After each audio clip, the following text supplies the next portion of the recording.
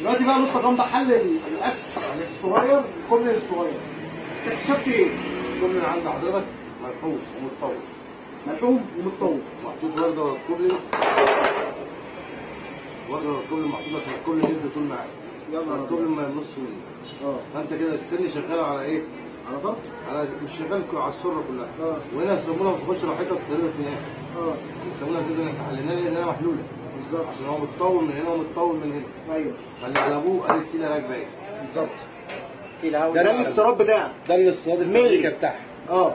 لغينا اللحام ومفيش ورده ولا أي حاجة. تمام. وهنا مش هننا مش هنركب ورده خالص. يبقى كده الكوبلي على أبوه. يبقى كده السرة تخش للاخر تخرج تنزل مظبوطة. للآخر. وما يحصلش أي مشكلة. ومفيش أي مضاعفات. ولا كمان ان الأكس الاستيراد اتخن من ال- اللي المفروض راكب هي عليه بتبقى صناعات صناعات صناعات يعني ده جاي النمرة بتاع بلدك. ده بتاع الفابريكا حتى الكاوتش فيه. مختلف. دي الكاوتشه بتاعتها ديت دي اللي راكبه فيها فابريكا الكاوتش ودي الفابريكا. الفابريكا. دي الفابريكا بتاعها وده الكلام بتاعها موجود. آه. الكاوتشه دي ممتازة. تمام. خامتها أشد.